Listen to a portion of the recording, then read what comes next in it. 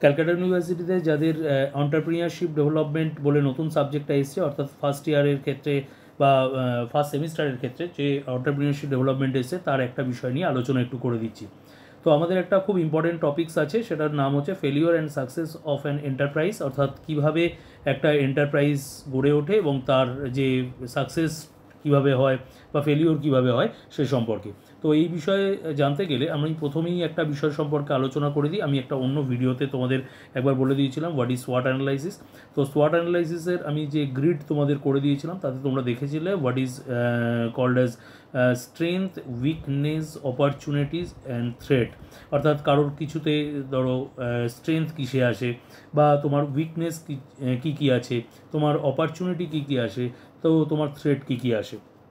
অর্থাৎ তোমার যে এই জিনিসগুলো কোথা থেকে আসছে বা কীভাবে আসছে স্ট্রেংথগুলো কীভাবে আসছে উইকনেস কীভাবে আছে বা অপরচুনিটি থ্রেট এই বিষয়গুলো কিন্তু আমি আগে একটা ভিডিওতে আলোচনা অলরেডি করে দিয়েছি। সিবিএসসি আইসিএসসির ক্ষেত্রেও একবার আলোচনা করে দিয়েছিলাম। স্ট্রেংথ উইকনেস অপরচুনিটি এবং থ্রেট বিষয়টা কী? তো এই যে বিষয়টার উপরে নির্ভর করেই কিন্তু আজকের কিন্তু এই যে টপিক্সটা অলরেডি আছে, আমাদের সিইউতে ফার্স্ট মডিউল যেটা রয়েছে ইউনিট ওয়ানের মধ্যে, এটা আছে ফেলিওর এবং success failure and success of an enterprise দেখো অলরেডি বিভিন্ন রকম ভিডিও তো তৈরি হয়, তোমাদের বাংলায় আমি বিষয়গুলোকে নিয়ে আলোচনা করে দিই। তোমরা কিন্তু বিষয়গুলোকে দেখে রেখো এবং পয়েন্টসগুলোকে ছোটো ছোটো করে আমি লিখে দিচ্ছি ফ্লোচার্টের মাধ্যমে, সেগুলোকে একটুখানি ভালো করে দেখে নিও। তো চলো ভিডিও শুরু করা যাক। যেখানে আমরা এফিসিয়েন্ট ম্যানেজমেন্ট এখানে আমাদের দেখো ইন্টারনাল আমি এগুলোকে ভাগ করে দিয়েছি ইন্টারনাল ফ্যাক্টর অফ সাকসেস যেটা অর্থাৎ তোমার হচ্ছে স্ট্রেংথ এখানে ইন্টারনাল ফ্যাক্টরস অফ ফেলিওর অর্থাৎ হচ্ছে ডব্লু অর্থাৎ যেখানে তোমাদের ডব্লুটা মানে উইকনেসগুলো রয়েছে এক্সটার্নাল ফ্যাক্টর অফ সাকসেস অর্থাৎ opportunity R external factor of failure this is called your threat এরকমভাবে আমি জিনিসটাকে সোয়াট অ্যানালাইসিসের সঙ্গে একসঙ্গে করে বিষয়টাকে বুঝিয়ে দিচ্ছি। দেখো ইন্টারনাল ফ্যাক্টরস অফ সাকসেসের মধ্যে কী কী আছে? এফিসিয়েন্ট ম্যানেজমেন্ট তোমাকে থাকতেই হবে লো কস্ট অফ প্রোডাকশন বিষয়টা থাকতে হবে এফি এফেক্টিভ মার্কেটিং বিষয় থাকতে হবে এবং প্রপার তোমার ফিনান্স থাকতে হবে। তবে তোমার কিন্তু আলটিমেটলি যে এন্টারপ্রাইজ তুমি করছ, সেখানে কিন্তু সাকসেস তুমি দেখতে পাবে।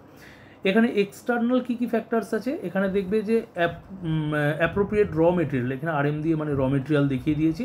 লো কম্পিটিশান যদি থাকে গভর্নমেন্ট পলিসি যদি ভালো থাকে এবং কোয়ান্টিটি অফ ম্যান পাওয়ার যদি তোমার থাকে, তাহলে অবভিয়াসলি এই এক্সটার্নাল ফোর্সেসগুলো তোমাকে এই সাকসেসের ক্ষেত্রে কাজে লাগে। তো ইন্টারনাল ফ্যাক্টরস ফর ফেলিওর তোমার ফ্যাক্টর যে, যেগুলো জেনারেলি পক্ষে ফেলিওরের ক্ষেত্রে ইন্টারনাল ফ্যাক্টর কী কী আছে?